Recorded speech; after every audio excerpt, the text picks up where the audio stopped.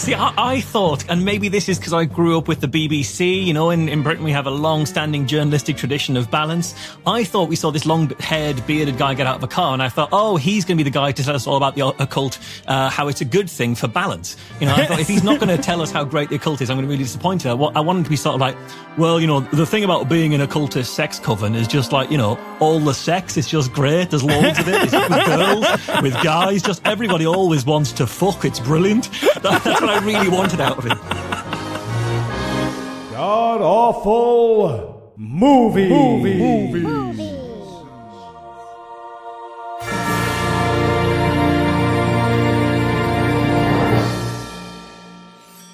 Welcome back to the Gamcast, where each week we sample another selection from Christian cinema because if we just talked about my cats, you'd notice. I'm your host, Noah Lugeons. Heath will be unable to join us today, but sitting 900 miles to my northeast is my bad friend Eli Bosnick. Eli, how are you this fine afternoon, sir? I'm amazing, Noah. Today I learned that my high school yearbook is a movie, so I've got I've got a lot to put out there. All right, and also joining us today is the host of Be Reasonable, the co-host of Skeptics with a K, the project director for the Good Thinking Society, and a guy who it turns out isn't really a beetle. He just talks like one. Michael Marshall. Marsh, welcome back, sir. Uh, it's an absolute pleasure to be back. Uh, fun fact, I was actually going to be the fifth Beatle, but I was beaten to it by Pete Best. But other than that, yeah. I would have been in the band the entire way through. All right. Well, yeah, I, I feel like it, if you could be you or Pete Best, you nailed it. Uh, so, well done, If Pete sir. Best could be Marsh or Pete Best. He's like, fuck, was that an option? now I missed out on two things. All right. So tell us, Marsh, what will we be breaking down today? Uh, we watched Doorways to Danger, the 1990 educational film that explained that if you ever even checked your horoscopes once, you should pretty much start stockpiling babies to eat because you are destined for hell. I was so ready for this movie to tell us about the dangers of fortune cookies. They never got around to it, but basically that and the magic eight ball is all they missed. all right. So Eli, how bad was this movie? Well, if you loved Blood on the Highway, but you wish it had been about the dangers of Mario Kart, you will love this movie. Watch out, it's a blue show. It's the floor is lava, the PSA. Yes. All right, so now this is a product of the satanic panic but I was always under the impression that that was a distinctly American phenomenon. This is a British movie. So, Marsh, did you guys go through this too, or was this just an American company trying to get you guys on board? No, so we did, and this is uh, so it's uh, it's strange to me because 1990 I was seven, so I was too young to remember this uh, all happening. But I have spoken to people who were involved in skepticism at the time, and uh, there was this big sort of uh, recovered memory, false memory type thing going on, and this idea that yeah, there was a satanic sweep through society, which I find really bizarre because I don't really see a lot of specifically religious behavior here in the UK. So it just seems weird that we would have. Uh, it makes sense for you guys. You guys can have that. You've got the religion everywhere. It's diffused everywhere every inch, every cell of your bodies has some sort of religious aspect to it. But here in the UK, we're meant to be a bit more reserved. So I'm astonished that this actually happened to us as well. Yeah, no, I found that really disturbing. There was, you know, like pre Brexit, there was always this feeling in my mind that you guys were like the smart us. Yeah. And uh, this this is really helping to ding it right along with No, uh, it's it's just the accent. The accent covers a hell of yeah. a lot of ignorance. right, right. No, exactly. All right, so is there anything you guys want to nominate this one for being the best at being the worst at? Yeah, I want to say it had the best worst teaser image um, because this film was on YouTube, um, which was handy. And I also did a little bit of looking around, a bit of googling about the film to understand the context of it. And everywhere that I looked for the film, it had the same thing as it had on the uh, the YouTube sort of snapshot as what the film was about, and that was this really weird sort of apocalyptic kind of painting with some ghoulish looking children and a giant witch. And I thought this is going to be a weird, incredible psychedelics run of a film. It's going to be spooky. It's going to be fucking weird. Nope, nope, none of that. That was just one painting that appears at one point in the film, and they led with that everywhere that I could see. So I was so disappointed by what this actually looked like all the way through. My my hopes were totally dashed. And spoiler alert, this movie has so little content. We will go visit that painter's house. well, we will, but we'll never speak to him. no, we won't. We'll look at his sweet car, though. Yeah. all right. So I was going to go with, and this seemed like the no brainer to me best worst transitional graphics. Mm. All right, so you ever watch one of those, you know, the slideshows that the old guy put together on iMovie and he just used all of the transition wipes alphabetically? like apparently there was a 1980s version of that. There sure was. Yeah, but he didn't get all the way through the alphabet, did he, Noah? He stopped at C for cube wipe. I thought, I think we've struck gold. Don't know why I need more than the cube wipe. All right. I was going to go with best worst eyewitness testimony. Look, I I have no idea which person you're talking about right now. not at all. Not at all. okay. We have seen a lot of Christian quote unquote documentaries and other kinds of crazy documentaries, but we have never had the one time me and my friend saw a person doing a thing which I now believe to be magic, but was not magic at the time, as the sole survivor of witchcraft in this documentary film. We will at one point get a Christian band talking to each other, not the people who were into witchcraft. We will get a Christian band talking about people they met who were into witchcraft as our eyewitness. Yes, yeah, we'll get bullshit hearsay. Yeah, exactly. It'll be a lie to the third power by the time we're done with it.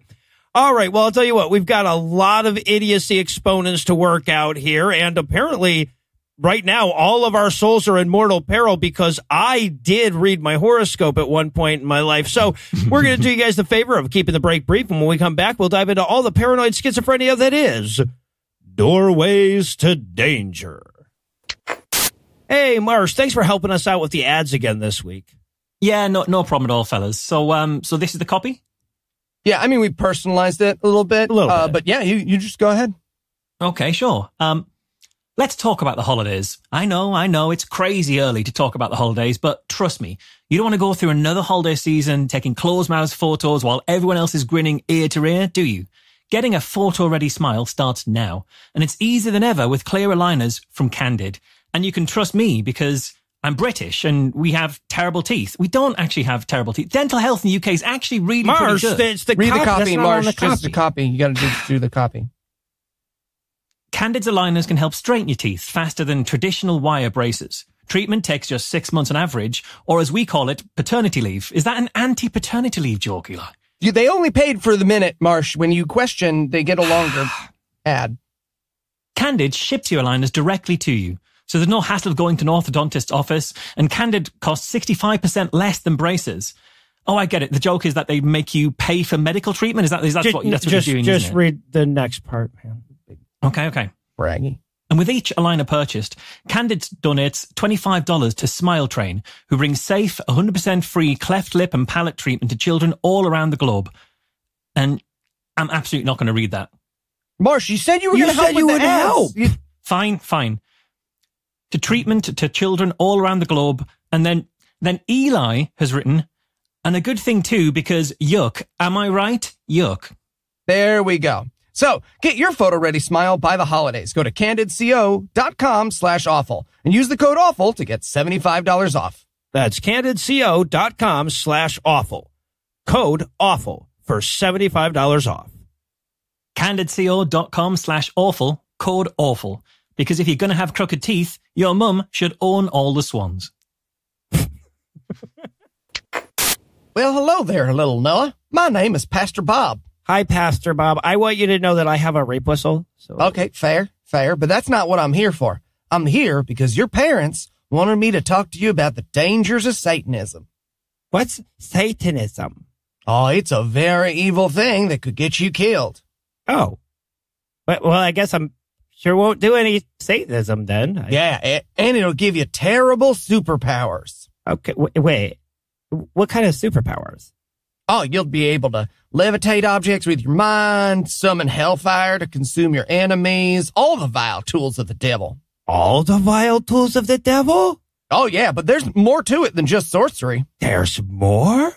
Oh, that's right. There's a bevy of sin and debauchery, sex, nudity, wild orgies, just group masturbation. Okay, so how do you spell it again? S A. And that's not even to mention all the drugs they're going to try to ply you with. You know, maybe you should tell me what specific addresses I should be avoiding. in. No, but here's the worst part. Are you ready, little Noah?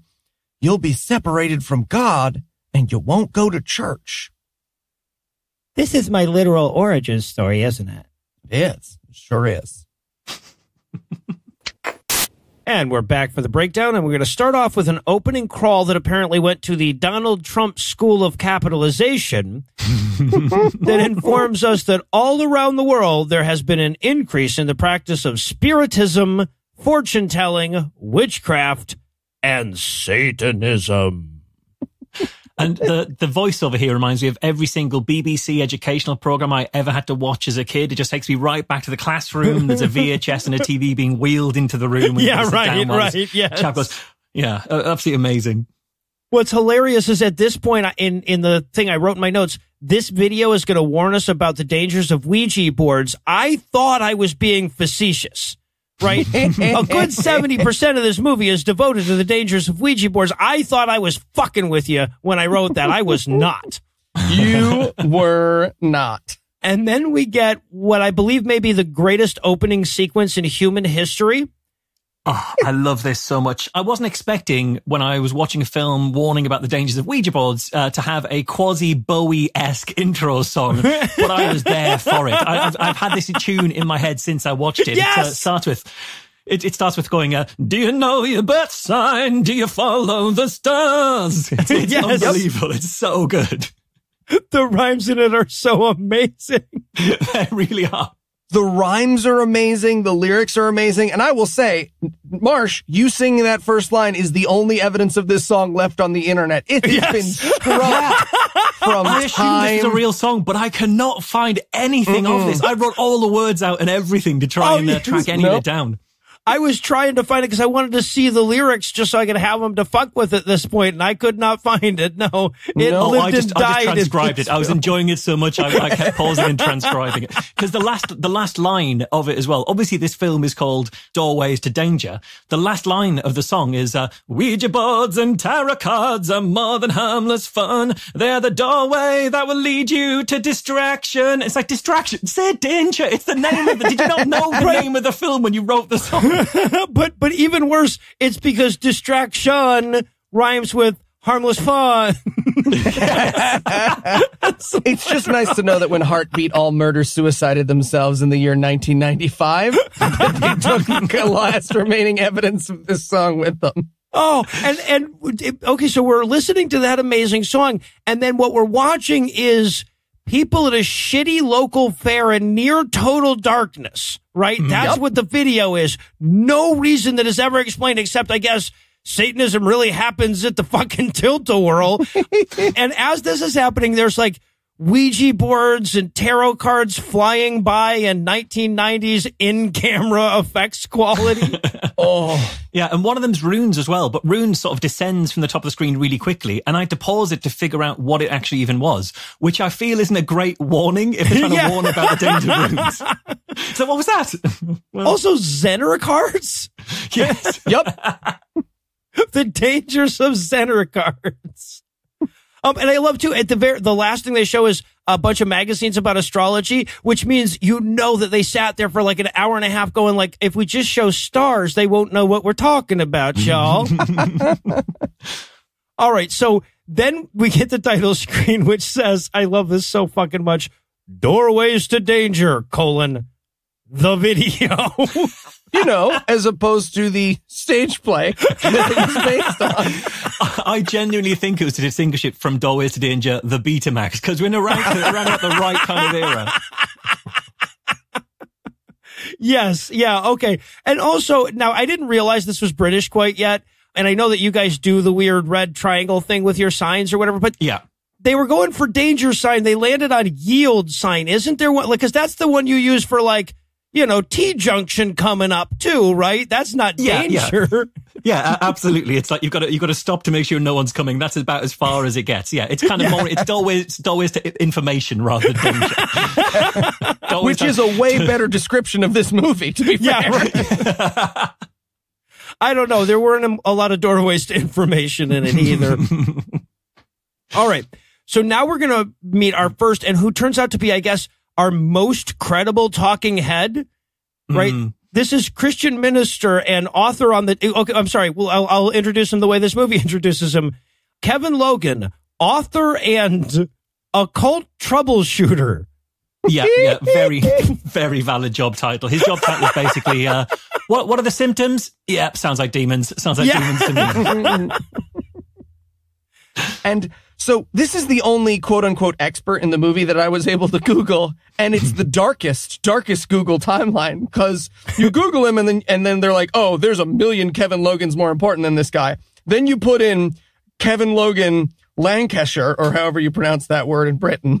Um, and it turns out the only article about him is, so there's this vicar that nobody likes. He's retiring. I saw that. And I found that in the well. article, yeah, in the article, he's just like, fucking gays, am I right? And they're like, again, just a reminder, this guy's retiring. You can probably come back to church or not. Who cares? It's England. I, No I love how he gets introduced as well because he we open with like just before he appears we see a, a shot of a book called Paganism and the Occult and then his face appears in the front cover and I wrote ah it's a haunted book ah. But no, that was their fantastic transition skill coming in, making an early appearance. And yeah, and so he, he flies out of the book and starts explaining to us that horoscopes are a gateway drug to Satanism, right? Well, they're a gateway drug to zombieism, right? And he's like, oh, you know, they start with horoscopes and then they, real quote, lose the ability to be people.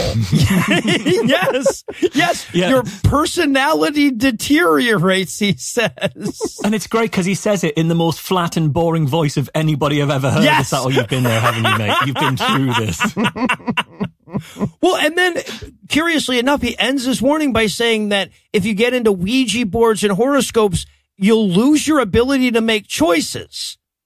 Right? And I'm like, yeah, well, let's, let's make kids more Christian so they'll have a greater array of ch- I was gonna choices. Yeah, yeah. It's like, yeah, we, we need, we, you can't do this stuff. You'll lose your ability to make choices because we at the church are all about kids making choices. We want young people to be pro choice. Hang on. Can we rewind a second? Yeah. I just heard it. I just, just caught up I'd like to myself there. retire. Yeah, okay. So we move away from him because the movie itself is bored by this guy. and then we check in with Heartbeat. Heartbeat! one of the UK's most popular Christian music pop groups. I Um, imagine and- that is a fiercely competitive category in that I just learned about that category when watching this film. yeah, right. And look, there, it's too long to make jokes about, but when I die and go to heaven, I will get to just make jokes about the heartbeat interview that I found online when I Googled Oh, really? heartbeat Christian band, which Oh. is just the lead singer very, very, very much trying to do a behind the music thing. He's like, yeah, it wasn't always easy. People would be like, sing, how great is our shepherd? And we would have to sing it. But some people thought we were just a rock band, but we're not. we, uh, I mean, I think we're a rock band, so that's a person. Let's drink some milky tea and gossip. Uh, okay, Oh, so do, we do see them drink the, the weakest tea I have ever seen in my life. It's offensive to me as a British person to see how they take their tea. It's disgusting to me. and also can we can we at least mention that they are the ugliest group of humans ever captured on video? Yeah. I feel like ugly doesn't capture it. They are the craziest group of humans. Like if you told me God hit the character randomizer button a bunch of times, it was like, there, that's heartbeat, big shoulders, tiny eyes, poofy hair. Good. And I, I love as well, there's like, well, I think there's eight of them in the band and they all sort of walk in in a really rehearsed and super awkward way. But then the ninth member of the band runs in after them and he's running with his hands in his pockets. And I've never seen anybody run with their hands completely in the pockets. I think he'd read online that having your hands in the po- in your pockets makes you look casual on camera. Right. And then he, he, he, he must have been sort of spending time thinking about that. Everyone walked in without him and he's like, oh, well, I, I, I, I guess I better run to catch up. This will look good. Yeah, it's amazing. And we should probably mention the entire reason for Heartbeat being in this movie is so not to talk about their music, not to hmm. talk about their careers, not even to talk about Jesus. It's for them to talk to each other on camera about one time a girl had a seance in her house for fun, but her television exploded and her nightmares came true. yes. All right. Yes. They're chatting about all the people that they've freed from the occult with their Christian music, which sounds like the greatest terrible cartoon ever. Like, right? Like they're Scooby Doo. And the one girl, and they're apparently talking about mutual memories, right? They're not telling hmm. each other. They're going like, you remember that time that? And the one that they open on, I had to go get my wife for this. And I'm like, just 11 seconds is all you need to watch of this movie. And the one girl goes, you remember that one girl who had a seance and then her television exploded and things flew around her room and she became a precog from Minority Report? what? It's amazing. I also love, and it's a minor detail, but she says, uh, you remember that girl up north who did that? And it Yes. seems like every, every time she mentions anyone to add that kind of credibility, they add like, oh, and there was other, there was an unnamed teacher who was down south who was teaching Yes. the kids RE. And Yes. you there was that survey of kids in the north. Why is this lady's information all geographically bound? Well, it's like that's why she. It, it's the same way that she doesn't use a number that ends in five or zero for her percentage, right? oh yeah, so yeah, they they go into detail talking about things that they already know, and and what the like if you back away from this conversation for a second. What you're actually listening to is people saying, "Remember when we met that mentally ill person and took their delusions mm. seriously?" Oh, yeah, that is yeah. that is the scariest case scenario. I chose the lighter timeline, which is they could find zero people who had these experiences, and Heartbeat was sitting in the room for some reason, and they were like, "We could just lie. Do you want us to just lie back and forth? We could do that weird conversation top a lie thing that Christians do." Oh, that would make sense because there's three of them in this conversation. There's two women and a fella. And the fella in the entire conversation says nothing other than mm and yeah and Yeah. up north, yeah. And I think it's a bit like he's just walked up to this conversation at a dinner party and he doesn't know how to join in, so he's trying to sort of get into the conversation, but it's been going on without him for a while. Oh God, that's me mingling. Yes, every fucking every platinum night we've ever had. Yep. and and they're talking about like they're like I'm just terrified by how, how many Christians read their horoscope for for all the wrong reasons, of course.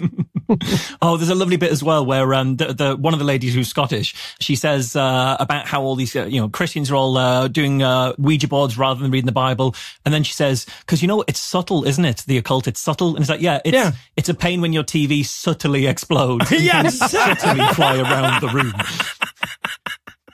Now, I don't live in California. They're flying around, but they're not being like ostentatious about it. You know, they're right, right. discreet. They're staying low to the ground and shit. this is where she gives us her fake statistic, which is that 87% of teenagers had dabbled into the occult, yes, by which she means the Ouija board. yeah, exactly, right. R- But still, if 87% of British kids play the Ouija board, as she says, at lunchtime, Yeah.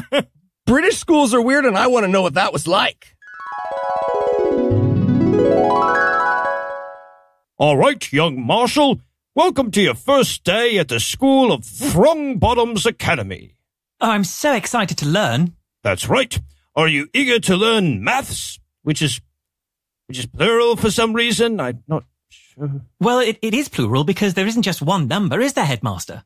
Not in England, there's not. Anyway, uh, from there you'll have I don't know, cricket probably, and then for lunch you'll summon the dead. Summon the dead, sir. Oh yes, all the children do it, asking them questions, generally reaching through to the other side like you do. You know, this is actually far better experience than I had at school. So, um, yeah, let, let, let's talk some dead people. Rightio, I'm off to go kill Severus Snape. Spot on fucking accent. Nailed it. go. Yeah. Nailed it. All right, and then we meet we meet Eddie Voss, who is a lecturer and spiritual advisor. Just so you know, everyone on this call could technically claim that title too. And Eddie Voss looks like Margaret Thatcher as a drag king. It's pretty impressive. Yeah, I had uh, Eddie Voss. He he came. He's uh, what you get if you uh, take all the hair that you pull off a brush after you've brushed a very ginger cat, and then sort of like fold it all up, and then that's that's him. Br- brought, bring that to life through the occult, and you get Eddie Voss. oh, that's deep. All That's right. Deep and great. so he's going to share, I think, the sco- scariest story that we're going to hear in this, right? So once upon a time he was teaching RI. I, I'm guessing religious indoctrination. I don't know, British thing. It's, it's religious instruction is a, is what they have. You don't teach RI anymore. You teach RE in the UK. But for a while it was RI before we realized that you couldn't just instruct children to religion because that did sound like indoctrination. But, yeah, uh, yeah, right, yeah. right. Next generation will be RS, religious suggestion, right, yeah, exactly. RN, religious nonchalance. All right. So, but in RI class, the, the higher ups wanted him to talk about the occult. And he says, only if I can be supervised by other people in this, like other adults, like, like as though this was a condition of his probation or something. I didn't, he didn't explain why. Look, I'm used to giving that speech and I thought he handled it tastefully. No, I thought he handled it very tastefully. I mean, all I thought was I, I'd be really happy for that caveat to apply to all RE lessons if we can yeah. whenever there's an RE lesson uh, going on. Also, when he says it, we cut to uh, a lot of kids, like footage of a lot of kids at school, and they all look super bored and super annoyed. So I can only assume this is footage actually live from his class at that time of the kids listening to Eddie Voss. Yeah. So he tells us the story about how he taught all the kids about occultism and how reading their horoscopes would make demons live inside of them. And that class ends. After his class, a mentally ill young girl had a breakdown or an epileptic had a seizure or something. And so he exorcised the demons from her. Yeah, Yeah. whatever was happening to this child was medical, but don't worry. He took her outside and yelled, Jesus is Lord at her. Yeah.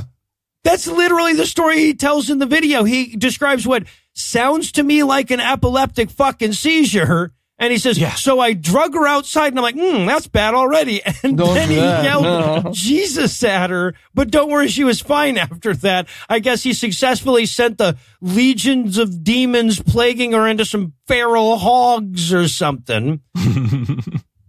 But we know he's the hero because this entire story is being played out in a cartoon Yeah, over his shoulder. Which, when the cartoon guy first appeared, I thought, "Oh my god, it's a demon!" I was really getting into the spirit of, uh, of, of this whole moment. But no, this is a cartoon illustrating his heroics, and then we see a cartoon of the lady that he describes as a demented lady.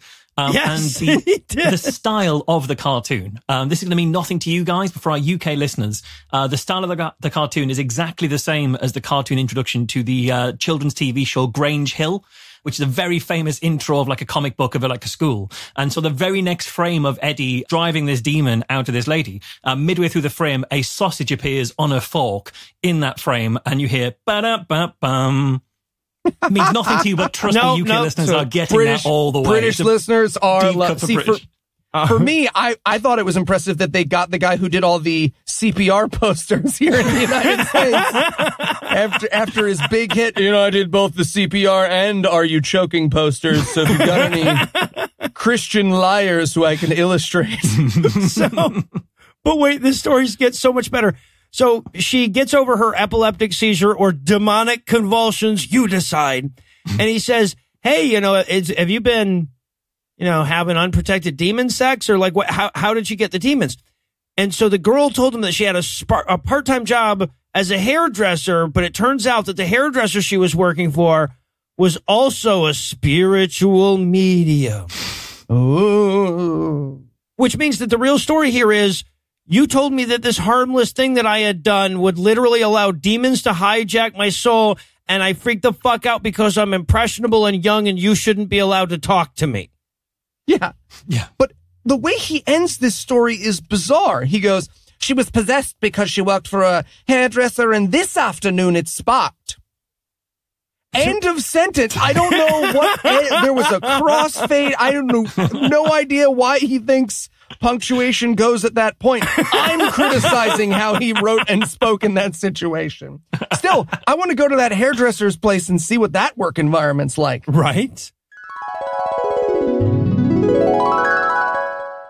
Oh, dearie, thank you so much for helping me out at the salon. Oh, no problem at all, Miss Puff and Fuffer. Oh, call me Broomhilda, darling. Okay, Broomhilda. Now, would you be a dear and hand me those scissors? The, these scissors here? Mm-hmm. And that wee cloth doll, darling.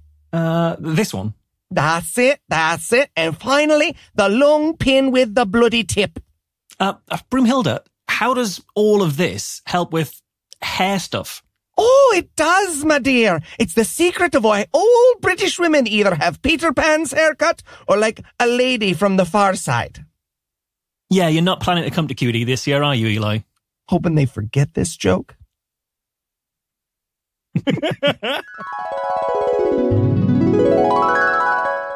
All right. Well, I'm pretty sure that this movie just endorsed the psychological abuse of children in the name of protecting them from spiritual abuse. So I need a break for some deep breathing. Probably a good moment to take a break for our word from this week's second sponsor.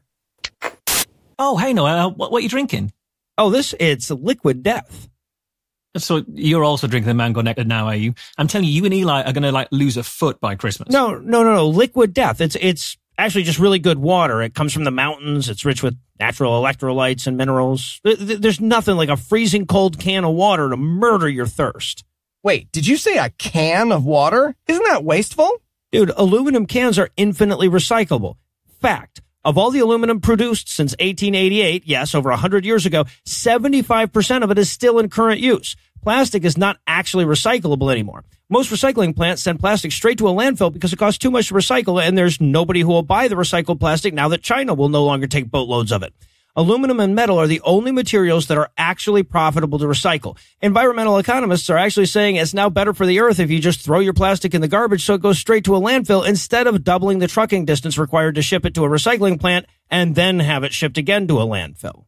Huh. Well, I'll be. Plus, Liquid Death donates five cents from every can sold to help clean up plastics pollution and bring clean drinking water to those in need. Well, that's nice of them.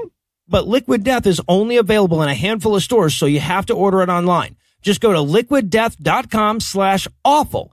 They're offering listeners an exclusive deal to get $2 off every case. That's liquiddeath.com slash awful. Or better yet, you can click the option to literally sell your soul on their website in exchange for a free case. But is that real? Yeah, you actually sign a real soul contract that's legally binding for eternity. Liquid Death. Science shit for Noah, upsetting religious people for the rest of us. You can keep that catchphrase, Liquid Death. That's on us. I feel like they're going to give it back. and we're back, and now it's time for us to meet David Stillwell, who they identify as ex witch and coven member. I believe this is British. I believe that makes him a left witch. Yeah, and the first spell he cast was to never appear on Google. Let me fucking tell you. uh, I mean, David, the way he gives this interview, he looks like he's been forced to do this interview, this video, is a, a sort of digital form of Megan's Law. He's got a very look about him. Yeah, I said he looks like the first guy to get fired for fucking bagels in world history. It's like, all right.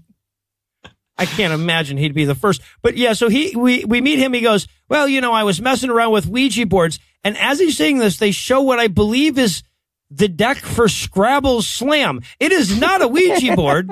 It is not a board. It's a bunch of cards with letters mm-hmm. on them that it shows."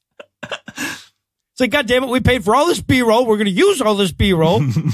right. But he tells us that his gateway was a girl gave him a book. yeah, yeah. yeah. And if any of us struggle to imagine what that would be like, the video recreates that transaction yes, for us. Yes, we see a book being handed to a person. but yeah, so he got a book about witchcraft, kind of a DIY guide. And so he got really into that. And then the narrator cuts in to say, uh, what kind of things attract young people these days? Yeah, and if a religious person ever asks you that, do not answer. If it's a priest who's asking you that, do not give them that information. what kind of ice cream do the kids like? Candy bars. So we get books, videos, books as opposed and to videos. Is his yeah, answer. yeah. Damn those young people and their book obsession. and also Dungeons and Dragons. Well, yes, right. That'll and, fuck you right up. and they're doing. They've got scary B-roll of like dragon on the front of the Dungeons and Dragons box here. And he's trying to justify the Dungeons and Dragons thing. He's like, oh, yeah, pretty much anything with witches, wizards, Dungeons, you know the usual. dragons. yes. A- ampersands. it's all evil. Also, hey, how about a little shout out to the art for Dungeons and Dragons during this time? It was the fucking worst. It was like, I knew high schoolers who drew shit in their notebooks way better than the covers of these books I'm looking at. I, it was the first time I've ever seen the polyhedral dice pop scare, but yes, they open the fucking books and there's just like a dun dun dun. Yeah. So yes, anything with rich witches or dragons in it'll leave you sucking on Satan's red cock. And then the narrator cuts in to go, but what about Halloween? That's got witches and dragons and shit, doesn't it? And his answer is like, oh yeah, big, big satanic holiday. Fucking huge. I mean, underneath Halloween is human sacrifice and murder and shit. Yeah, right. No, it's the highest satanic festival of the year, you see. Yeah, yeah. Although he does say, uh, but but people think it's all about just trick or treat and uh, dunking for apples, bobbing for apples, and he says it like bobbing for apples is sinister. And uh, do you do bobbing for apples in America? Yes, or is yeah, that a British uh-huh. Halloween thing? Yeah. It's the least sinister thing imaginable, but he's, he's trying to make a scare out of it. Amazing. In my experience, bobbing for apples is just being bad at eating for the first time in your life and then almost drowning. Yes, yeah, yeah. What it is is slowly drinking apple water. That, that's all. yeah, apples right. Yeah, exactly. Um, and is, I'm sorry, is it just, maybe this is an accent thing or whatever. It sounded to me like he was saying trick in treat. Is that like what British people say? Or did this guy have a Heath dad? Oh, okay. No, so so this is uh, it is his accent. He's saying trick or treat, but the way he's saying it, his accent sounds to me like he's saying trickle treat, which is a very different thing. It is a totally different activity. But, but also a gateway to Satan. all right. So now the movie is going to sit back and recount all the people we've heard from so far in case that nine minutes really lets you stretch to your max mentally or something. yeah, and it's very much kind of like here's all the people we've heard from so far, and they take it all seriously. So either we should also take it seriously, or they're they're wrong. Yeah. It's the first of those. It's the first. People honestly. telling us stories about exploding TVs and nightmares coming true are wrong. It's one or the other.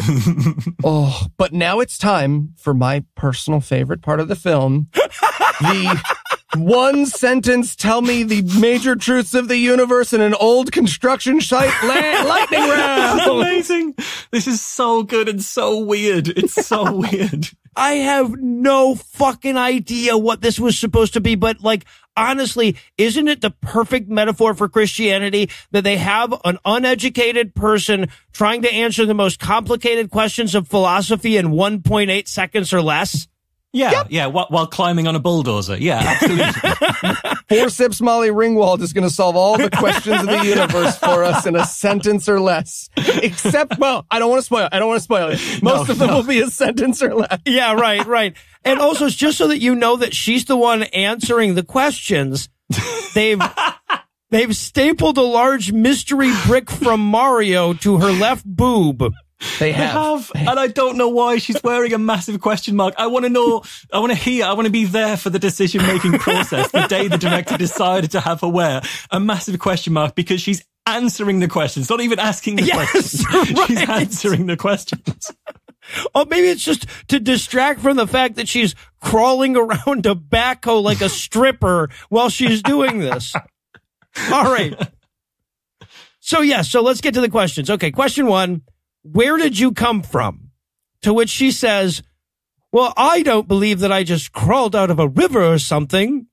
And I just want to say her looks say otherwise. Just throwing that out there. It's not just her looks. When we get introduced to her, she's standing pensively next to a river. And I say, Andrea, all the evidence is there. Don't lie to us. But seriously though, is that how she thinks evolution works? That like she personally was once a fish? I can see how you would doubt it.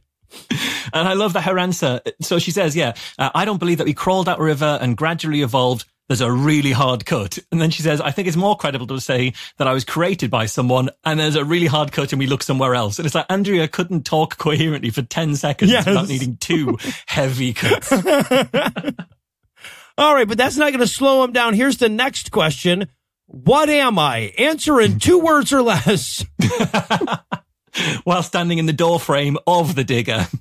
Yeah, right. No, that, and that's the weirdest fucking thing is that every time they cut back to her, she's going to be on this same backhoe, but in a different position. Right? Like eventually she's going to just be dangling upside down from it or something. Like monkey bars, yeah. yeah, it's like the, the Shatner episode of The Twilight Zone where there's a, a, a, a pixie or a gremlin on the wing and then she's Yes, just like moving right. around the, the mechanics of it. Yeah. But don't worry, she's a ghost in a meat suit. oh, That's her okay. one sentence answer. All right. Question. I I have no idea where the these questions get so goddamn esoteric. Question. How does the past affect the future? Yeah. What? Where the think- fuck are we going? I don't know what the point they're trying to make is. She says, I think the past does affect the present. And it's like, yeah, that's, that's how time works. That's how Yes. causality works. I don't know what we're establishing here. Hey, among Christians, that shit's controversial. Apparently, yeah. Yeah, causality, they're not great with that one. yeah. All right, so now we're going to here's here's a question you should be able to knock off with one sentence. What is right and wrong? and uh, so she says this whole thing about like how I think you know deep down when you're doing a wrong thing. So her answer is literally whatever I think in the moment is right or wrong. Yeah. And it also, crucially, doesn't reference religion in any way. It's like, I think you know deep down, uh, she's essentially saying, I think we all have some sort of innate sense of morality that's built within us and doesn't come from an external source, is basically her answer here. Yeah, right. Except I'm sure the Christians are like, yep, the Holy Spirit, you got it. Yeah, yeah. And I really wanted to be answering this from like curled up in a little ball in the, the, the bucket of the digger. Or Yeah, right, right. Hanging off of the tooth of it, like with a wedgie or something. Yeah. Um, all right. So now we got another question here for her. Is death the end? No. Next question. Nope. And then we finally give her an opportunity to really live in an answer and, and, and answer it thoroughly. The question is, and I can see why at this point in the conversation you would want to ask this girl this. The question is, what is reality? And I love this because one of the things she says is, uh, if I thought that reality was just what I want for my life, I'd be quite depressed. It's like, yeah, Andrea, that's because the only thing you seem to want is to find innovative ways to sit on a bulldozer. It's not a meaningful life pursuit. And we should point out that she has had a one sentence answer to everything except for this question, which is 14 times longer and somehow less meaningful. Yes.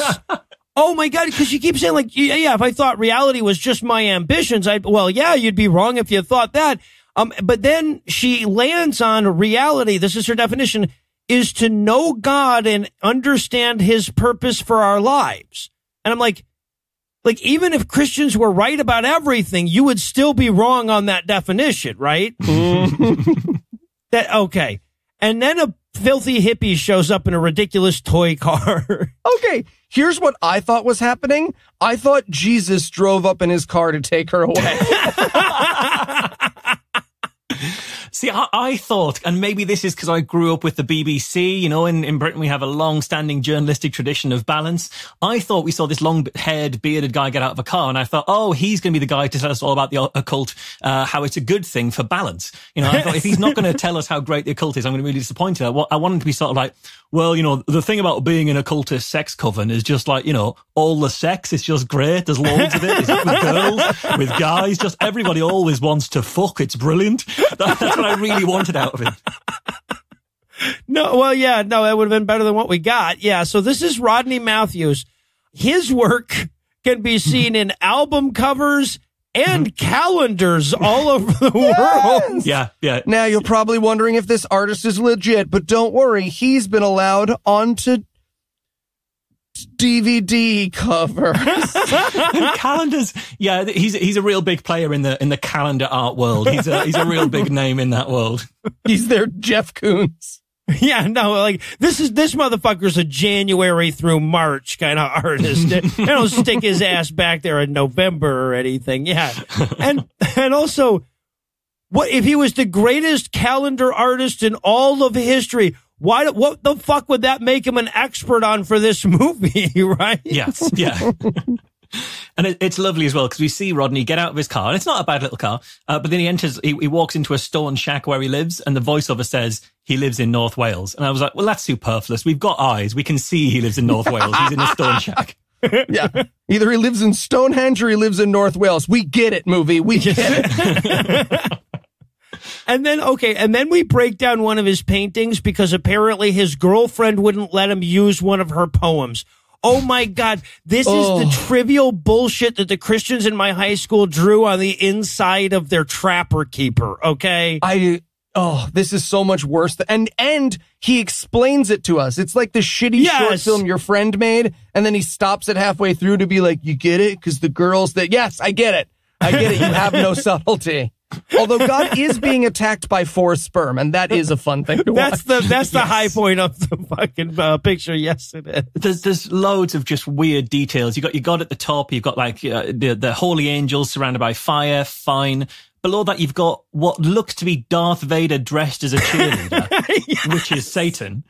Uh, and he's got a backing crew who are all the falling angel, fallen angels. And then we've got the evil spirits who apparently are xenomorphs from the film Aliens. Yeah, well, They're xenomorph genies. Yes, Yeah, exactly. and then- Right next to that, we've got what I'm pretty certain is the guitarist from Def Leppard, who apparently is representing normal people. It's amazing.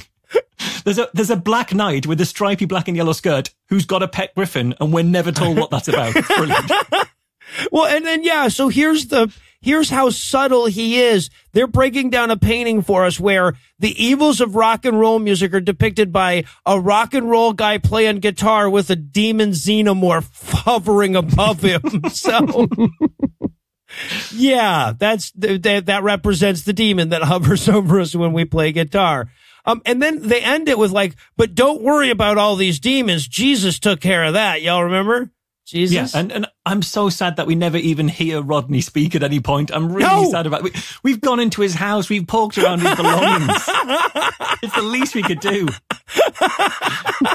he went to the bottom of the lane and drove back up in his car for the for the intro. For yeah, right. I mean, at the very least, pay his petrol or something. Come on. so, and okay, and then we're going to open up the next scene with a very clear statement that buying two songs about the dangers of Ouija boards would have just been ostentatious. We're literally going to get the same song from the beginning of the movie again. we are. That is true. And okay, so now we're going to either meet Carolyn Williams or the duck that killed Carolyn Williams, hollowed her out, and climbed inside to animate her from within. Mm-hmm. That's actually how Untitled Goose Game ends. I, I apologize if I just ruined it. Whoa, you. Sorry, man. Spoiler. I mean, a, a quick question: Is is Carolyn Australian? I couldn't. She sort of had a half Australian accent, and all I can think is like Neighbours, the Australian soap opera, was massive in the UK in the eighties. And I think she's just all of the 80s Neighbours characters rolled into one human being. Sure.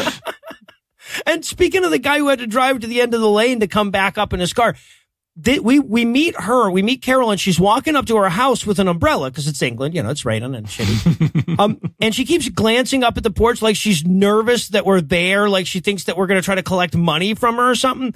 And, but but one way or the other, either they sent this poor girl out in the fucking rain to get this shot, right? This arriving home shot, or they literally just showed up on her porch and she wasn't expecting them to be there, which I actually think is more likely given what we know. So, all right. But Carolyn is here. To, like her qualification, uh, by- according to the little blurb at the bottom of the fucking screen is recalls an incident from her school days. Yep. And you know what? I'm not even sure she does. Yeah. I wouldn't go so far as to call this an incident. No, no, it's not. Her documentary content making story is one time I walked into a classroom and some girls were doing Bloody Mary, but the British version. And then I was like, uh uh And then I left. I'm in the movie. This story made it into the movie. Yes. Yes. She, okay. So she says she walked in on a room full of people who were reading the Lord's Prayer backwards, which means, among other things, she immediately recognized the Lord's Prayer backwards. That's fucking weird. right? I think, I feel like she just heard weird, like she walked in on the, like the Russian exchange students or something and shit herself. That's demonic or something like that. and that's the whole story. She walked in on those kids, said fuck that and left. It's the story about that time nothing happened to her. Yeah, Yup. see, I, I have a theory about Carolyn that we'll come to later that I, ex- I, I think explains what she walked into in the bathroom, um, but I'm not going to spoil it. But I've got a theory, a working theory as to what her life's been all about ever since then. All right, all right. I, I, I love the tease. All right, so and then they're literally going to tell us about the dangers of Ouija boards some more because they don't want me to be able to be hyperbolic anymore. Nope. They tell you that Ouija boards are very dangerous because you're not actually talking to the dead. What you're talking to is demons. He was he started off so good. He starts out with no, you can't actually talk to dead people with a Ouija board. I'm like, very good, David Stillwell, very good. but But if that were true, I, I feel really bad for the demon who gets stuck with that job. right? Oh, hi there. You must be Gormac the Demonic. Yep, that's me. Well, you know, welcome to your first day in the lower hells. Uh, we're all super glad to have you here. Yeah, I'm really excited to, you know, damn some souls. Ah, That's exactly the spirit. So, um, so here's your, uh, here's your workstation. All right, this is a, uh, it's a Ouija board. That's right. The, uh, the main communicado, if you will. All right, so what do I do with this? Oh, don't worry at all. It's me dead easy. Messages will just come in. Oh, there we go. You see, you've got your first one already. Uh, spirit, are you there? I- I mean, yes. Okay. So you, you gotta, you gotta move the planchette. Right. Yes. There you go. You'll have a soul on your first day in no time at this rate. Does Billy like Nicole? Uh, Who the fuck are Billy and Nicole? No idea. Well, I, then what do I say? I, I mean, yes, right? Yes seems demonic. sorry, I just, I, I don't, I don't see how we're gonna get souls this way. I mean, to be fair, the other side's plan involves giving babies cancer, so Yeah, no, that's a good point. Yes, he likes Nicole. attaboy. Okay, so now the narrator is going to cut in to point out all the much better movies we could be watching. Mm-hmm. Right? Yeah, we've got to go for the video nasty theme at this point. We see some of the classics, Poltergeist 3, Spellbinder, Primeval, and then The Witches of Eastwick. The Wasn't that a Witches comedy? of fucking Eastwick was one of them. Well, oh, it gets worse because the the what they will settle on as a, a guy is talking about a kid who like got descended into Satanism is Ghostbusters 2. Yep. They don't even blame the good Ghostbusters. that super scary video nasty Ghostbusters 2. They literally show like children walking by the sign for Ghostbusters 2 as though to say, can you believe that when kids are watching?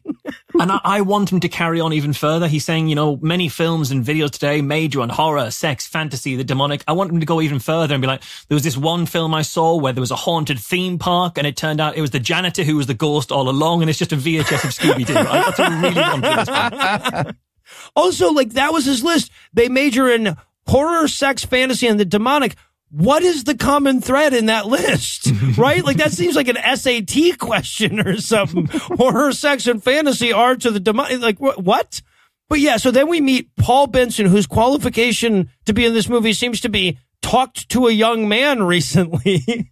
I gave a guy an anxiety attack once because yes.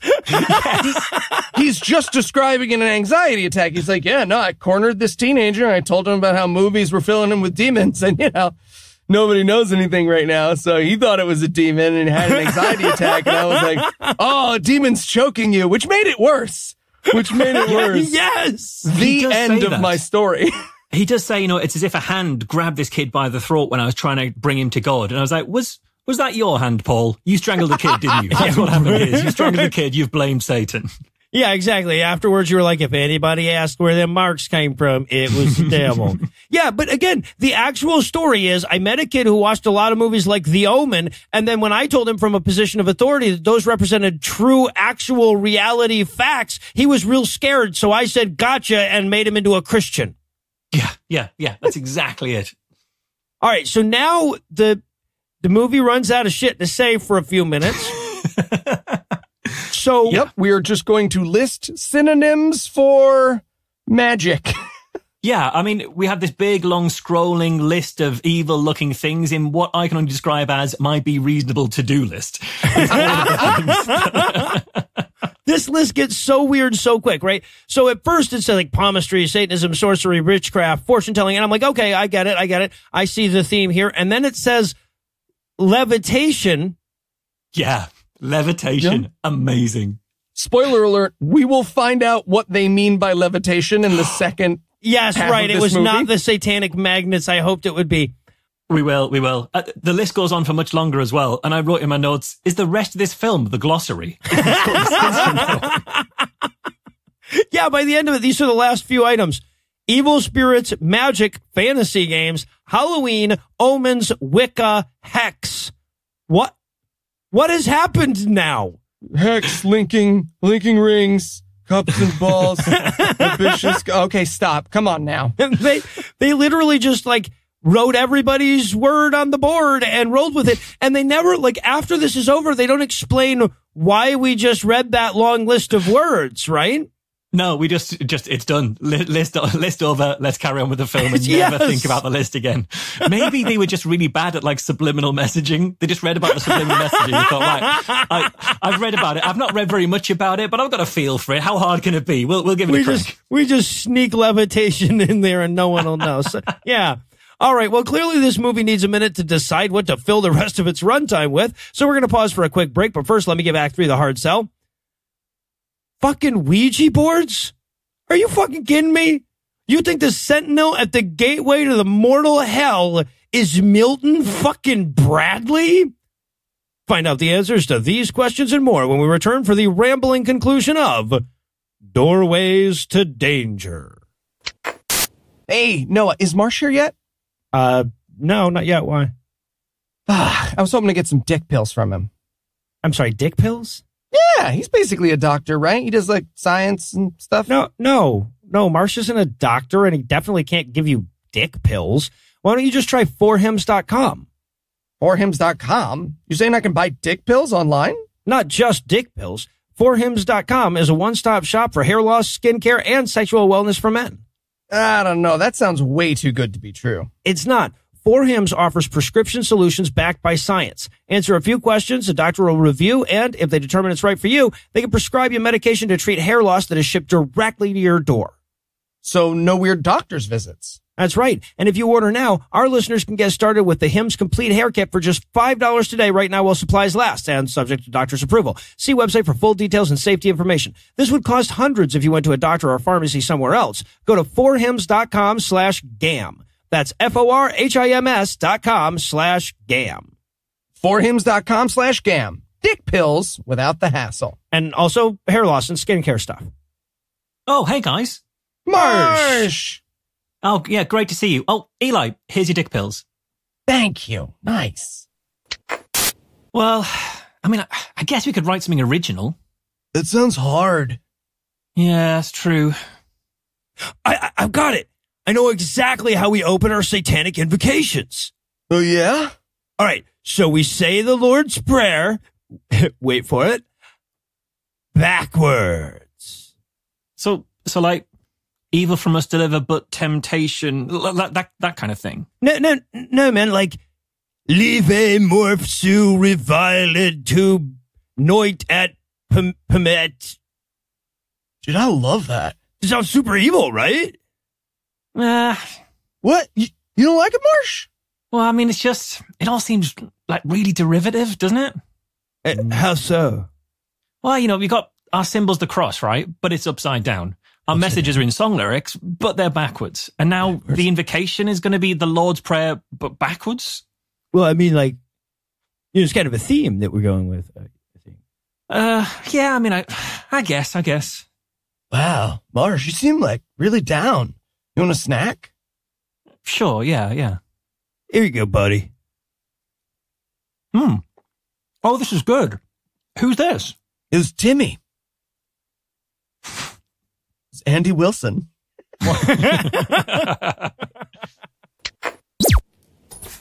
And we're back. When we left off, we were pretty sure Carolyn's amazing story about seeing kids say words was over, but no, no, there's more to it.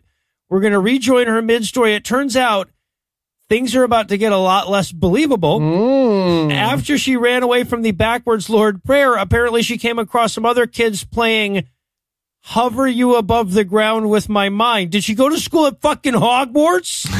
okay, but here's the best part.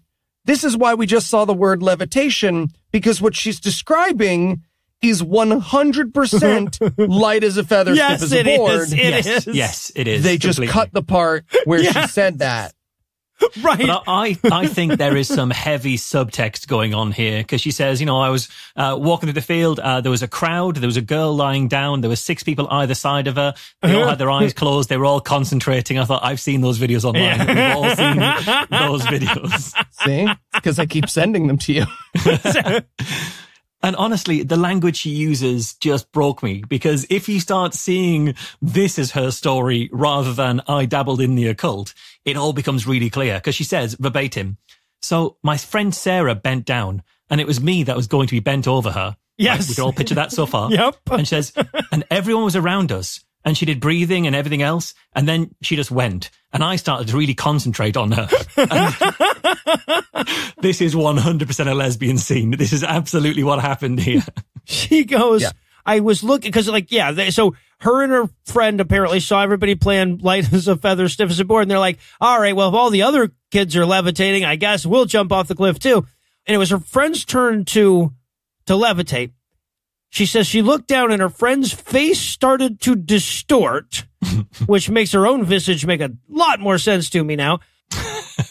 but luckily, just as her friend was going full demon faced, Carolyn started praying, and then everyone got mad at her because they were just playing light as a feather, stiff as a board, and she started calling upon Jesus' name. Yeah. But I have a very solid theory about what happened. So the whole thing about like, I was the one who was supposed to stand over here. Here's what I think actually happened. I think they were playing light as a feather, stiff as a board. And I think she was the person at the head. Now, if you know about the physics of light as a feather, stiff as a board, that is the one thing that doesn't have multiple people's fingers on it. So if you freak out because you're a Christian schoolgirl from England and drop your friend's head, they'll mash the back of their head against the ground distort their face because they've just whacked the back of their head against the ground, then you will pray to Jesus and ruin everyone's good time. This is oh, about a girl who dropped her friend and assumed she had been possessed by a demon. You're, to- you're totally right because she says at the end, uh, my friend was acting kind of drunk. She couldn't stand up straight. Yep. She couldn't focus. Yep. I mean, I had a different reason for why she couldn't stand up straight and couldn't focus. But you've come up with another another alternate uh, possibility, Eli. Isn't it amazing how many possibilities there are without resorting to demons? also, we should point out that someone has, um, or somebody's kid anyway, has storyboarded this whole thing with shitty watercolor paintings that are interspersed with her story.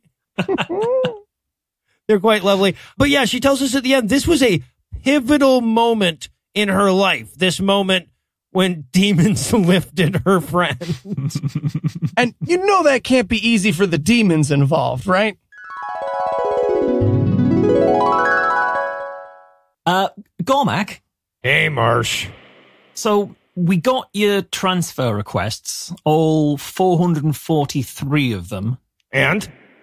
And um, yeah, we, we agree that maybe Ouija boards aren't the best use of your skill set. Oh, thanks, Satan. I, I, I was thinking maybe I could, like, you know, tempt a maiden or start a fire in a church, you know? Well, they're there. Love it. Absolutely love it. Keep those ideas coming for sure. Uh, but in the meantime, we're thinking you did something a bit more um, otherworldly demonic activity. Ooh, I like the sound of that. Excellent. So, um, right. So what you're going to be doing is you're going to be lifting little girls. I'm sorry, lifting little girls? Yeah, you know, lifting little girls. Oh, oh, you mean like like in The Exorcist, like above the bed, right before they vomit ectoplasm and stuff? Like, Right. Y- yes, but not quite that high. okay, just I'll I'll sort of hover them menacingly over the ground. Yeah. I mean, technically, their friends will also be lifting them as well, but you're going to be making it easier by like two fingers or so. Okay, so just just lifting little girls, that not even Yeah. Have it? Yeah. eleven. You know, if he doesn't want to do it, I'm happy to take over. Damn it, Jeffrey, get back in the pork box. Sorry, sorry, sorry. Wow, was that Jeffrey Epstein? Yeah, Ugh. yeah, I know. All right. And now it's time for us to hear from Paul Heather, former astrologer. Man who decided to switch from one form of attention to the other form of attention. yes. Yeah, and, and Paul, he looks in this interview like he's being uh, interviewed on when he found out that his neighbors were swingers. That's the, the sort of the tone of this interview. it is.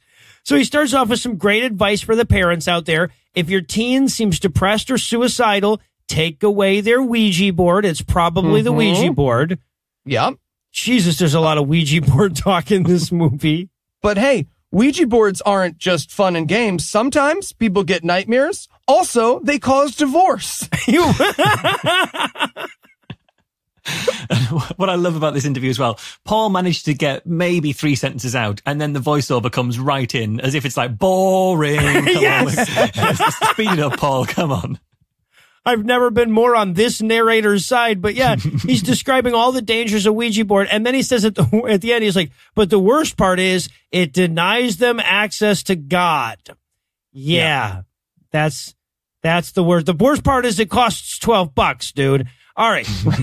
and he also tells us, by the way, that when he was into astrology, he didn't just dabble. Right? When he sees a giant pile of bullshit, he doesn't just touch the edge. He sticks his hand all the way in Jurassic Park style. And I love how he tells us how he freed himself from astrology. He's like, you know, but I thought about it. It's kind of bullshit. And I was like, good. And he was like, it's like worshiping the stars. And I was like, good. And he's like, and the planets. And I was like, good. And he was like, when you should worship the wizard that created those things. Um, this guy tries for So an analogy and stubs his toe. It's so goddamn bad. Yeah, I mean, I I love all of this interview. I love I love it absolutely all because you, you said that he said you know that uh, when he when he got, gets into something he doesn't do it lightly. You know, he, he said I really get into it, and at that point there is a glint in his eyes that made me think, oh, it's not your neighbors that are the swingers, Right. That all makes sense now, and he's basically saying, yeah, when I get into something not real, something pretend. I don't pretend lightly. I go all out with my pretending and I pretend really, really hard. Anyway, I'm religious now. Yes, right. And as he's talking about how he needed to interpret astrology as well, he said, I had to go to the library to get some books about it. And we see footage of him looking at uh, magazines. And the magazines, first of all, they're illustrated with stills from the video to Aha's Take on Me. uh, that is the animation style, in, uh, the, the illustration style in this video. Yep. But I realized at this point, and I've been back through and I'm pretty certain about this, every book and magazine that we encounter in this film is flipped backwards rather than forwards. The You're pages are turned right. backwards rather than forward. This film doesn't know how to read. I'm pretty certain at that I- point at this I- point. I think you're right, and I think I can back that up, right? Because at, at this point, what we're looking at, like the guy, uh, what's his name, Paul, is saying, like, you know, I bought all of these books about astrology, and then we cut to two books and three magazines with big pictures in them, and that, I guess, is to them all these books. And he comes, he does bring up this analogy as well. He said, I began to oh. realize it was like the teacup worshipping the teapot because the teapot was filling it up. But the teapot, well, the teacup wasn't seeing the hand that was holding the teapot. And I thought this metaphor is both confusing and embarrassingly British. And it's aching. You know, it's, it's as if he said, it's as if he said, I mean, I began to realize it was like apologizing for binge drinking in the queue in bad weather because your upper lip was stiff, but your teeth weren't straight. It's that level of British analogy. also, the teacup shouldn't be worshiping the hand either, dude. Your analogy is terrible. this makes no. fu- What about the brain that moves? Oh fuck, that that screws me right up. oh, damn. Now I'm into crystals. All right, and now it's time for us to meet Judith Dawson's skeleton. Or, as I call her, the turtle from Finding Nemo if she wanted to speak to a manager. and she's listed, by the way, as a a child abuse consultant, and I'm sure that's a a noble profession, but it sounds like the person that you would call to see how big a stick you can get away with, right? Yeah. Yeah, it, it definitely sounds like it's offering tips and techniques. What if he doesn't wake up in ex- what if it's exactly 48 hours when he wakes up is what I want to know. But here's the thing: fun fact about how noble Judith Dawson's profession is, or how she uh, put- how she does it. as this film was being made, uh, Judith Dawson was leading a team that wrongly accused two nursery workers of child abuse and who a, a judge later said of her team that they maliciously and deliberately misrepresented the evidence to do so. And they got fined two million pounds uh, Wow. compensation towards those workers. Obviously, Judith didn't pay a penny of that. It was the council Right. that employed her who had to pay it. But that is the uh, level of nobility and professionalism that Judith Dawson was employing at the time. Wow. Yeah, no, and she was practicing up on the maliciously misrepresenting the evidence too, right? Right here in this very film. Oh, yeah.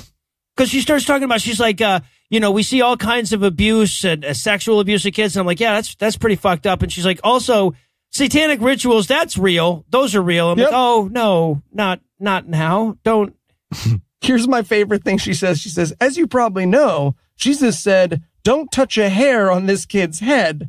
Satanists believe the opposite. And I was like, so touch all the hair I on know. that kid's head? Yeah, I had exactly the same thing. And I said, I think there must be a lot of satanic hairdressers. And they said, oh shit, we learned that earlier in the film. It all makes sense. oh shit it's, it came full circle i i just want to point out how much less concerned the christians became with sexually abusing kids ritualistically when it turned out it was their guys doing it right like isn't it strange that was such a hobby horse for them back in the 80s and 90s not so much anymore hmm. but yeah so then we talk about the obsession that Satanists have with combing baby hair, apparently. What the fuck did she think she meant?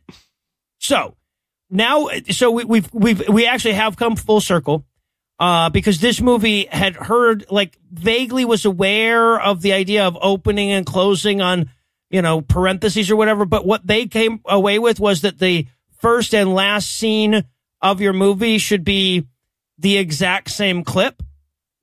Yeah, Yep. I'm 90% sure this film loops like Pulp Fiction. And it's, it's just still going on for Yeah. forever somewhere.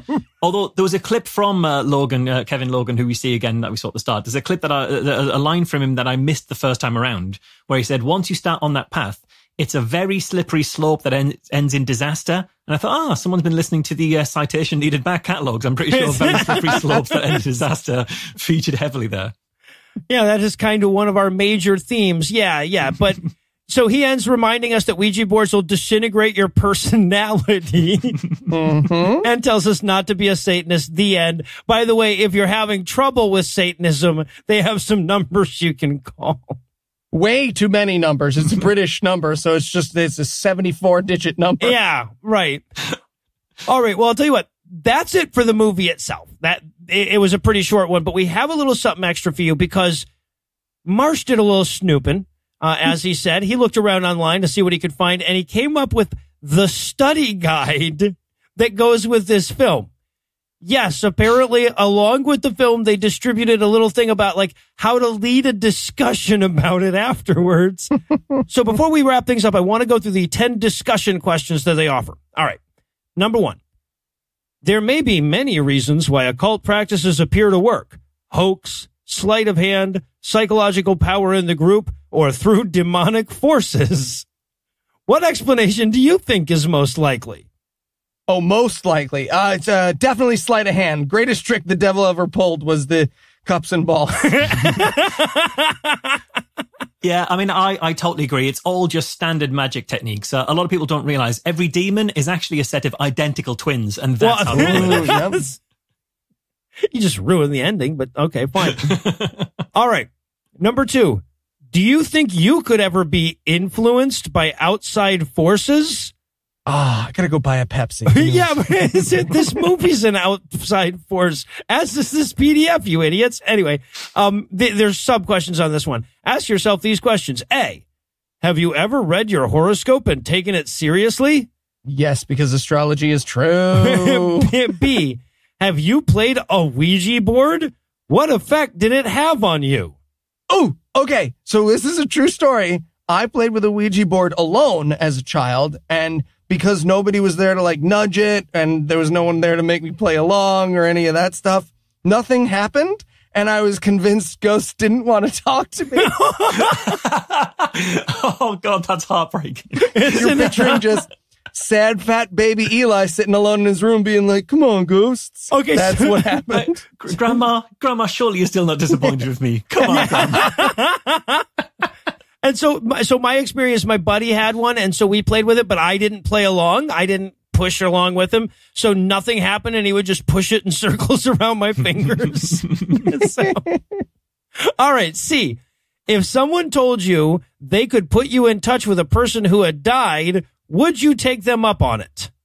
Eh, I'm worried Dad might ask what I've been up to, and I don't really want So to. it's going to depend on the person. Eli might just dig somebody up. So.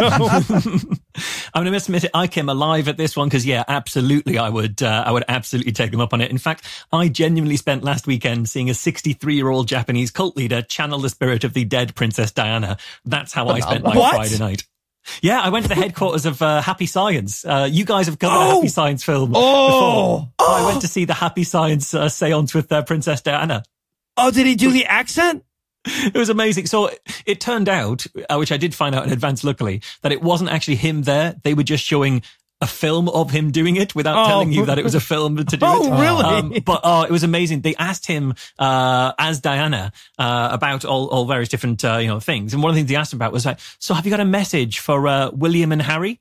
And I don't think he knew who those were because he sort of went, uh, "William, Harry." Um, I'm not sure. And it's like, yeah, I'm surprised Diana's forgotten her sons that quickly. You know, it's funny how quick the spirits move on when they're from the opposite that's side of the world and haven't done the research properly. Amazing. All right, wait, there's more. Three.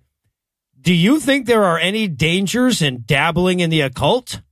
Uh, really silly book collection. You could burn yourself lighting too many candles. Or get a little blister from the lighter? Yeah. Also, uh, future potential employers might see that video you were in from the 90s. Yeah. All right, number four. Several people spoke of their experiences. Did any of them surprise you? I feel like you have to care to be surprised. I, I didn't see the scene with the semi-Australian lesbian come in. That was an absolute surprise to me. I want to meet the guy who wasn't even surprised by any of those stories. All right, number five. Um, have you formed a worldview yet? That's a terrifying goddamn question. and then it asks us uh, how we would answer the six questions that were put to An- Andrea, the girl on the backhoe. Yeah, I, I'd probably answer them while dangling off the back of a combine harvester. That's, uh, that's what I would do. All right. Uh, eh, question six has a bunch of homework. Uh, how do the devil and Christ differ in their approach to man? See John 1, 1 through 18, John 8, 12, John 1, 29 through 34, 2 Corinthians 4, 4, Philippians 2, 6, Matthew 13, 19, John 5, 20, Luke 4, 22, 2 Thessalonians 2, 9, Matthew 4, 1 through 11, 1 Peter 3, 18 through 22. No. All right, wait. This is my favorite question on the list. Number seven. Although demon activity has cropped up in every age to a lesser or greater degree, why did the world of demons so strongly reveal itself during the ministry of Christ? Ooh, because there weren't cameras yet. I, I think it's because Christ escalated the fight by being so efficient uh, and brilliant at fighting evil that it's a, it's a bit like at the end of Batman Begins where they blame the Joker on how good Batman was. That the Joker's having to right. No, you're game. right. Okay. All right. I think that's honestly the answer they were going for. There's th- somebody who from this project is listening. They're like, all right, we're getting through, y'all. It is like Batman. Jesus is just like Batman. All right. Number eight. this is not a question. This is what it says. I copied and pasted this, guys. I didn't rewrite it. Eight. Some reasons for steering clear of occultism. Cultism? Question mark. uh, uh, goth girls take even longer to get ready. How Oh, that's that? a good one. That's a good one. Uh, I had uh, the smell of joss sticks makes me very angry and enraged. Uh, I become incensed. Oh, How dare you? Shit tits. All right. So, oh wait, no, I'm sorry. Nine is my favorite question. Nine is the best. Again, I am going to read this to you exactly how th- how they have it written. Nine. Can you think of two reasons why getting involved with the occult is similar to walking into a radioactive area? A. That which can harm you is invisible. B. The harmful effects may not show up immediately. Did did you answer your own I question? think they did. in your All I had was uh, that astrology and radiation, they both make you more likely to be exposed to cancer And that's as close as I can get on anything to this. Well done, sir. Well done. All right. And finally, number 10. How can people be set free from the bad effects they have experienced through spiritism, fortune telling, etc.? Note especially the sections with Eddie Vass and Paul Benison. Why did it work? Uh, in my experience, they can start an atheism podcast. Oh, oh, that would also be a good answer of the uh, to, for the reasons to steer clear of occultism question too. I think in terms of setting people free, I think they could realize that it's just all not real and then stop listening to scaremongers like Eddie Vass and Paul Benison. And that would probably do a decent job at setting them free. Well said, sir. As a matter of fact, I think that's the note I want to end on. So that's going to do it for our review of Doorways to Danger. Not going to do it for the episode just yet because we still need to try this again and expect different results next week. So Eli, tell us what's on deck. Well, Noah, of course, next week should be the last week of our Halloween spectacular. But every so often, something mm-hmm. so beautiful comes along. Uh-huh. A one night Fathom event so tremendous that you are currently the sole owner of the ticket to the theater it is playing in in New Jersey. That's right. It's Kevin Sorbo versus Antifa in The Reliant. Oh my god! Like we got seven thousand texts and messages and shit mm-hmm. about this when when when they announced that this was coming out. Yes, we are gonna go. I'm gonna drive an hour and forty fucking minutes to the nearest theater to the theater near me that's playing this for its one night Thursday debut, which will not carry on over till Friday. All right. So with that to look forward to, we're going to bring episode 218 to a merciful close. Once again, a huge thanks to Marsh for hanging out with us today and a reminder that you can hear more from him by following the link in the show notes. Hey, Marsh, thanks for being on the show. I forgot to add that in my outro thing. Thanks. Oh, it's an absolute pleasure, guys. I really enjoyed seeing this glimpse of my history. And of course, and also huge thanks to all the Patreon donors that help make the show go. If you want to count yourself among their ranks, you can make a per episode donation at patreon.com slash godawful and thereby earn early access to an ad-free version of every episode. You can also help us out a ton by leaving a five-star review anywhere you can and sharing the show on all your various social media platforms. And if you enjoyed this show, be sure to check out our sibling shows, The Scathing Atheist, Citation Needed, and The Skeptocrat, available wherever podcasts live. If you have questions, comments, or cinematic suggestions, you can email godawfulmovies at gmail.com. Legal services for this podcast are provided by the law offices of P. Andrew Torres. Tim Robertson takes care of our social media. Our theme song was written and performed by Ryan Slotnick of Evil Drafts on Mars. All of the music was written and performed by our audio engineer, Morgan Clark, and was used with permission. Thanks again for giving us a chunk of your life this week. For Heath Enwright and Eli Bosnick, I'm Noah Lugeons. Promise to work hard to earn another chunk next week. Until then, we'll leave you with the Breakfast Club close. The theme song went on to play on a loop in Marsh's head until the day he died. Do you know your birth sign? Do you follow the stars? Noah, Heath, and Eli did eventually all appear on this show again in the same week, I promise. If I'm still the only person with a ticket to the Reliant on Thursday, I'm watching it naked.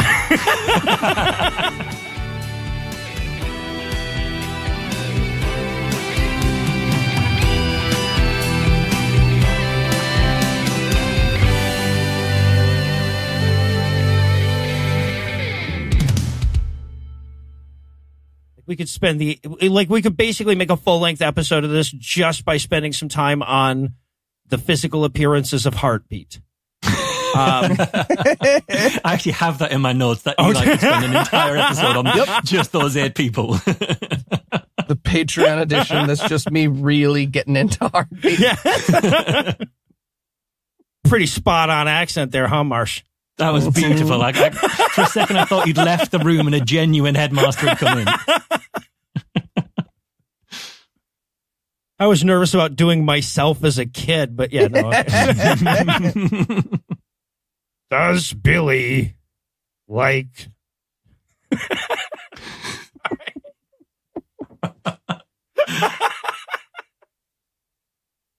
Oh, shit.